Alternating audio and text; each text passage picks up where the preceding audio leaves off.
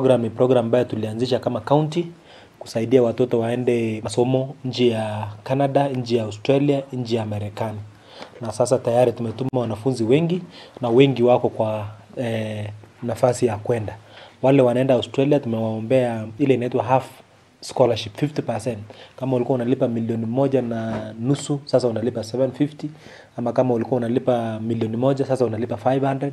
So hiyo ndio tumepunguza ili wana- wananchi at least wapate. Tumejaribu kutafuta ya bure upande wa Australia imekuwa ngumu, lakini Amerika tumepata mashule mengi ambayo wanatusupport kwa scholarship ya athletics. Kwa hivyo hata kama si hata kama ni bure, lakini inahitaji ukuwe unajitrain kidogo, alafu tunafanya trials.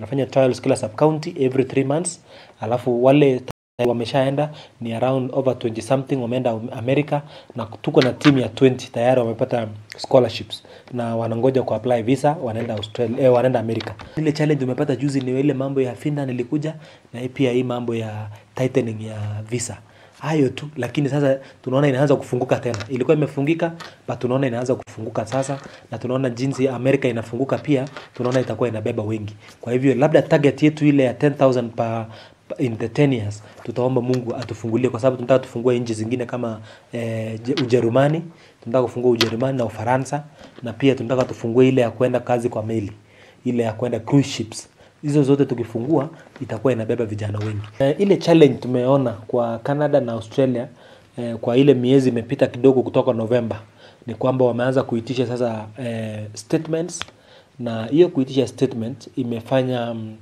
ya kwamba imekuwa expensive kidogo, na hiyo kuitisha statement imefanya wazazi wengi wakaogopa.